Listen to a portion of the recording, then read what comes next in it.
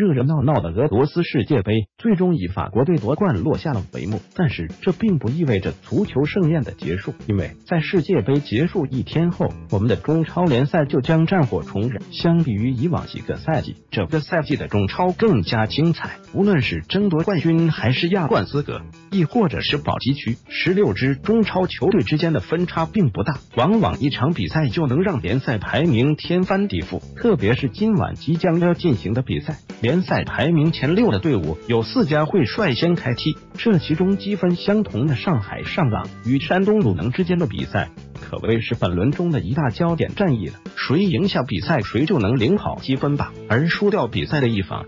则会被后面的对手拉近比分，甚至反超比分。然而，如果这两队踢平，那么不好意思，领跑积分榜的机会则很有可能落到排名第三的北京国安身上。所以，这场比赛的双方必将踢得火花四溅。而在积分榜第四的江苏苏宁。自从换帅以后，成绩一直是稳定的上升当中。在今晚的比赛中，江苏苏宁易购更是拥有主场之力，拿下比赛就能坐四望三。如果主场翻船，那么了联赛排名则很有可能跌出前六。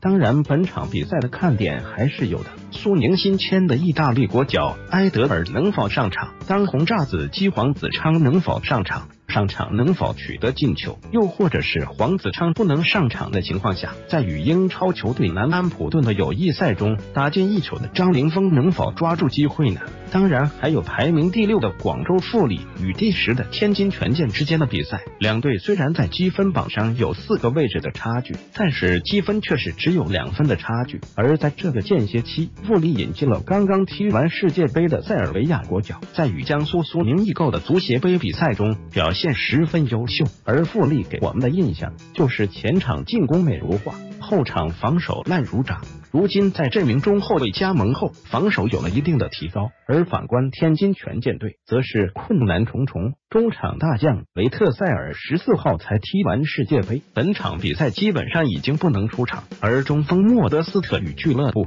反正也是各种传闻，权健很可能只会使双外援出战，所以今晚的比赛也是考验这个亚冠独苗的时候了。